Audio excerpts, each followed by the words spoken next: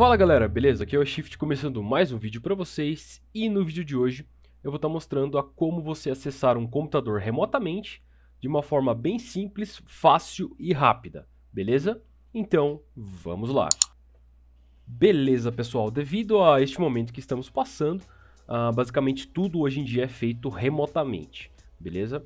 E uh, existem hoje vários tipos de programas né, que faz esse acesso remoto, até mesmo o Windows tem um uh, por padrão, porém eu vou estar tá mostrando uma ferramenta bem simples e fácil de ser usada.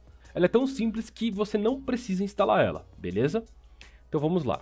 Uh, essa ferramenta é o Ndesk, o link da, do download vai estar na descrição do vídeo, beleza?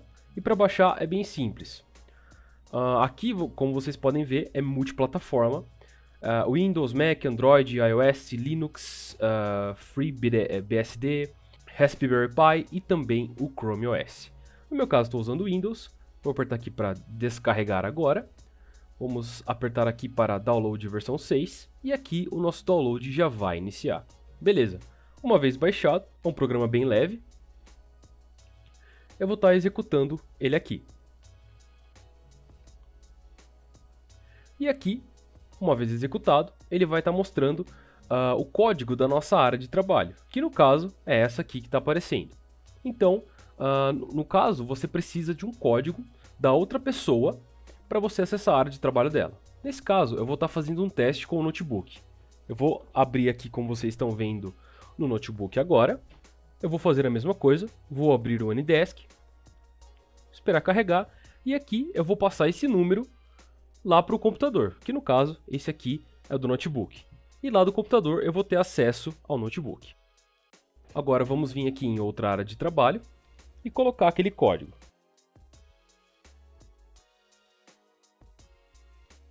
Feito isso, vamos clicar em conectar. Aqui ele vai começar a estabelecer a conexão, porém ele só vai dar acesso quando a outra máquina permitir. Agora vamos voltar para o notebook. Como vocês estão vendo, ah, no caso aqui está a foto do usuário, o nome do usuário, querendo acessar a máquina. Então, vamos clicar aqui no botão aceitar. Opa, galera, rapidão, antes de continuar esse vídeo, vou passar uma informação aqui que eu esqueci de passar na hora que eu estava gravando esse vídeo. Ah, como vocês estão vendo aí, ah, tem dois botões, o botão de aceitar e um outro de aceitar, só que com escudo. Ou seja, se o usuário apertar nesse botão com escudo, ele vai conceder todos os direitos de administrador para quem estiver acessando. Lógico, se ele tiver, se ele for o administrador da máquina. Ou seja, o que essa permissão concede? Ah, basicamente fazer mudanças mais drásticas no sistema, beleza? Então é isso aí que eu ia passar para vocês. Então bora aí continuar com o vídeo. Uma vez aceito, eu já tenho o controle sobre a máquina. Porém, o usuário ele pode sim finalizar esse processo, apertando neste botão aqui em finalizar, beleza? E aqui basicamente é isso.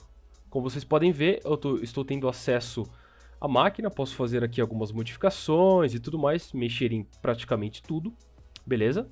E essa conexão só vai ser derrubada se o usuário quiser ou se uh, eventualmente a internet cair ou coisas do tipo, beleza? Então é isso, isso são uma das coisas que dá para fazer. Esse programa tem outras funções também, como por exemplo o bate-papo, se você quiser conversar ou pedir alguma informação para a pessoa, você vem nessa caixa de diálogo aqui em cima e aqui você consegue mandar uma mensagem.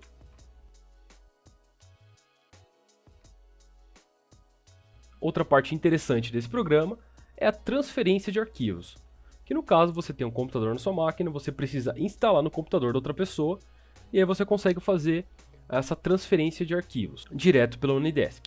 E como a gente vai fazer? Logo ao lado do bate-papo tem essa opçãozinha de iniciar transferência de arquivo. Vamos clicar aqui e de um lado vai estar o meu computador e do outro lado vai estar o computador do usuário, que no caso é o notebook. Aqui no caso eu vou estar pegando esse arquivo bloco de nota que está na minha área de trabalho. Dentro dele, como vocês estão vendo, está escrito teste, beleza?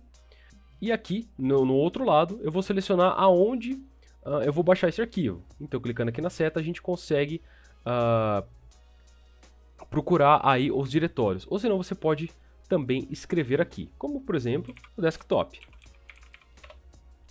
Beleza. Selecionado o diretório que a gente quer, vou selecionar o arquivo aqui no qual quero enviar e vou apertar para carregar. E aqui, como vocês podem ver, ele já passou. Ele passou rápido porque é um arquivo de texto. Então, uh, dependendo do arquivo que você, for, que você for passar, este processo pode demorar um pouquinho, uh, variando aí da internet dos dois, beleza? E como vocês estão vendo aqui no notebook, o arquivo já está aqui na área de trabalho normalmente, beleza? Então, é mais ou menos isso que eu queria passar para vocês. E agora, para a gente voltar, é só apertar aqui no monitor, no, uh, no caso, uh, dependendo da máquina que a gente estiver acessando, tiver mais de um monitor, a gente consegue mudar uh, para acessar os dois aqui, ou se não, selecionar qual monitor deseja, beleza?